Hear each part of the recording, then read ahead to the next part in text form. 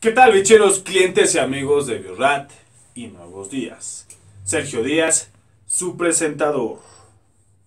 El día de hoy nos toca hablar sobre el negocio de la PIMS. Para ver qué tal. Eh, este tema también nos han pedido. Entonces mandamos saludos a. ¿Vale? Este. Síganos preguntando, ya saben. Tardamos un poco en contestarles, pero les contestamos. Eh, esperen la respuesta, porfa, pero es que tenemos bastantes cosas que hacer, ¿no? Una. Y dos, si estoy bien nuevas para la tecnología y luego se me va a estar viendo los mensajitos y todo eso. Entonces, este... ¡Comenzamos!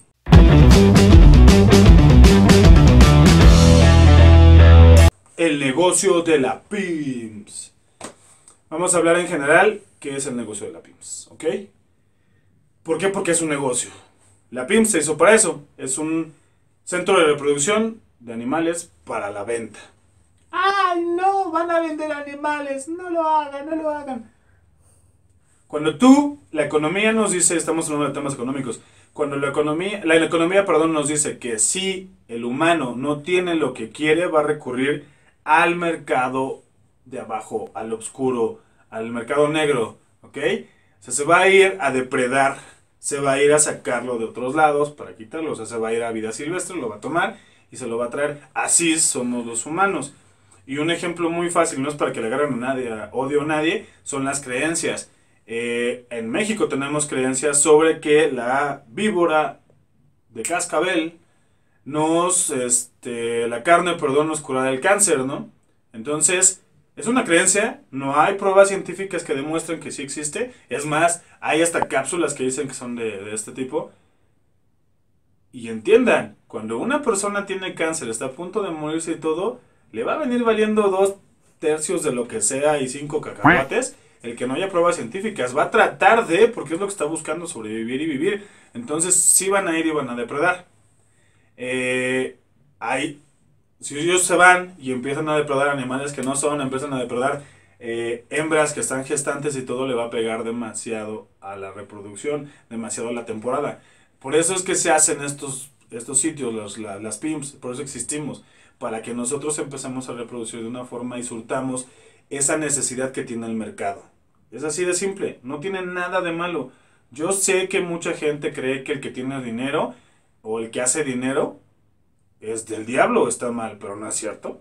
Eso no está mal. Entonces, eso es lo que es una PIMS. Así está este, trabajada. Pero aparte de eso, hay PIMS como la nuestra y como muchas otras, porque hay muchas, que también trabajan en el entorno social. Es una forma de regresar al ambiente y de regresar a la sociedad lo que estamos haciendo. Nosotros tenemos animales para reproducción, para la venta como mascotas pero también estamos trabajando el lado social y cultural y ambiental, perdón. Entonces, tratamos de dar pláticas, se les enseña, hacemos videos dándole a la gente el conocimiento para que también debe de haber una forma, no es una forma de retribuir lo que nos está dando o lo que estamos aprovechando. Eso es una explotación responsable, ese es un trabajo responsable. Eh, ahora, ¿Cómo funciona el negocio de la PIMS? Como les dije, el chiste es reproducción de, ¿no? El básico. Entonces, ¿qué se va a hacer? Yo necesito parejas para empezar a reproducir. Pero para tener esas parejas necesito tener contactos y necesito tener información. Necesito hacer un plan de manejo para que me lo apruebe Semarnat y entonces pueda estar trabajando. Necesito una inversión eh, decente para tener instalaciones donde los animales estén bien y necesito gente que me esté ayudando para seguir trabajando porque no es fácil. Necesito conocimiento, ¿ok? No cualquiera se puede meter, es en serio. De repente hay mucha gente a la que los, los, los animales les dan y se reproducen súper fácil. Pero no nada más es tener animales, ese es el trabajo técnico. Ahora hay que venderlos, hay que saber a quién se les vende y cómo se va a vender. Repetimos, no es para todos, tenemos una gran responsabilidad. ¿Es para cualquiera, como se los decía? No, no es para cualquiera. La verdad es que este trabajo no es para cualquiera y ninguno que tenga que ver con animales. Eh, desafortunadamente mucha gente se ha metido en esto porque creen que es dinero fácil, pero no es cierto. Es lo más complicado que ustedes van a poder ver. Tienes que amar a los animales, tienes que amar estar en esto, porque hay olores. Buen. porque no descansas. O sea, a los animales se les ocurre tener, enfermarse, se les ocurre poner en momentos que tú deberías estar durmiendo, descansando o en la fiesta. ¿Qué tan fácil es? Es súper difícil. No es fácil. Quien te diga que es fácil lo está haciendo mal o ni siquiera le hagas caso. Es súper difícil, pero de nuevo este, tiene sus beneficios. ¿Qué beneficios tiene lo de la PIMS? Bueno, primero, trabajas con animales. A los que nos encantan los animales, es el súper trabajo. Esa magia que logras de repente llegar a tener el contacto con, ese, es, esa respuesta de repente de los animales, esa magia de ver ciertos especímenes, ciertos ejemplares, las coloraciones, el ver miradas y de repente entender qué trata de decirte el animal o cómo se está comportando, ver, simplemente ver el carácter diferente que tiene cada uno de ellos.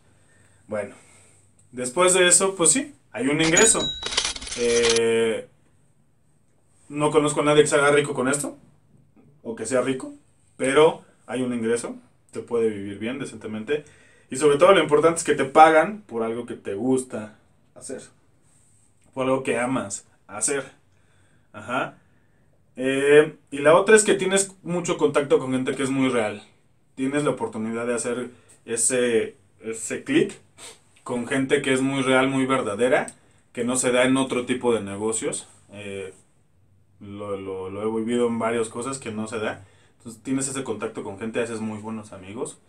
Este, y de nuevo esto de parte de lo que es la PIMS, ¿verdad? Entonces, conclusiones, las conclusiones. Lo importante es que no es para cualquiera, eso sí, que tienen que echarle muchas ganas, que tienen que conocer demasiado, tienen que meterse a leer y a todo. Eh, preferentemente tengan una carrera, ya sea fin o no, pero tengan una carrera para que sepan cómo darle un orden. Eh, es importantísimo. No sean, mm, es en serio, no sean el clásico huevón que pone un negocio porque no le hizo en otro lado y pues vamos a ver qué sale. Porque va siempre el huevón, siempre va a ser huevón y no va a hacer nada, ¿no? Tienes que echarle ganas, tienes que eh, meterle tu naturaleza a esto, demasiado. Y la otra es, no se van a, si los que se quieran meter, los que se van a meter y todo. Va a ser muy difícil que entren, pero una vez que están adentro está muy padre. Tienen que trabajar, pero va a haber muchos beneficios muy, muy fregones. La verdad es que es este bastante padre ver todo ese lado de la naturaleza que tiene. Entonces, eh, pues creo que con esto terminamos todos. Ya saben, saludos a todos los que nos están viendo. Gracias por haberse suscrito. Suscríbanse más, de compas, suscríbanse más. Si tienen alguna duda sobre el tema y quieren que hablemos más cosas, les digo, ahorita estamos dando algunos puntos de vista económicos y financieros muy leves para que todos se puedan entender, pero que creo que les va, les va este, a ayudar bastante. Eh, pues ya nada más para agregar.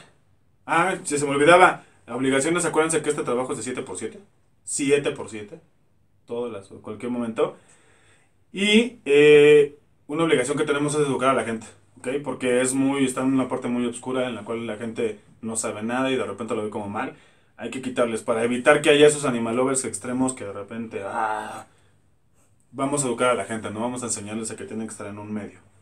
Vamos a, y pues eso es todo. Cuídense mucho. Que estén bien.